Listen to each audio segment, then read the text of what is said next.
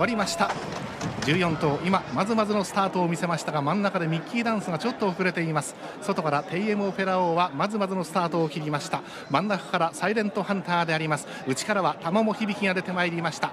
玉も響きそれからサイレントハンター末広コマンダージョービッグバン。それから外の方にマイネルブラウであります。大歓声が起こるゴール板前。TM オペラ王はその後ろ外の方についています。その後ろにミッキーダンスアドマイヤボスがいた。アグネスフライトであります。それから東方ドリームミッキーダンスがいてエアシャカールの赤い帽子は後ろから3頭目くらいです。先頭はタマモヒビキ2馬身のリード。2番手にスエヒロコマンダーであります。3番手に今日は逃げないサイレントハンターであります。8番がジョービッグバン。1番のロードクロノスその外へマイネルブラウが続いている。4番絶好調のアメリカンボスであります。トーホウドリームその外へオースミブライト。そして注目のテイエムオペラオであります。その後ろ23馬身差がついてこの位置にアドマイヤボスそれから内々を通ってアグネスフライト。エアシャカールその外へミッキーダンスの展開 1000m は59秒であります。ジャスト59秒で第3コーナー五分咲きの桜の下。さあオペラ王はちょっと動いている。ちょっと和田隆二の手が動いている。徐々に徐々に先端に接近しようかという構えでありますが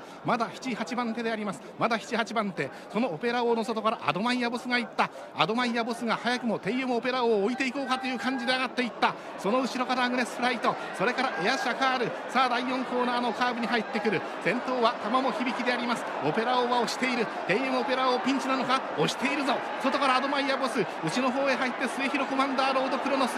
それからアドマイヤボスアメリカンボス大外からエアシャカールアグネスフライトはその後ろ。先頭は玉も響。きアドマイヤボスアドマイヤボス。外からエアシャカール。オペラオーピンチ。あと 200m テイエムオペラオーさあここから根性の見せ所。しかしエアシャカール。しかしエアシャカール。大外からなんとトーホウドリーム。トーホウドリーム。東方ドリーム大金星。テイエムオペラ王重賞9連勝なりませんでした。やっぱり休んで帰ってきて、まあ、本来の動きではなかったのは確かだったんで、うん、やっぱりどうしても、ね、負けなしできて今年もっていう気持ちがすごい強かったんで、まあ、いきなりこけたからあらと思って、うん、どうしようかなと思うんですけどね。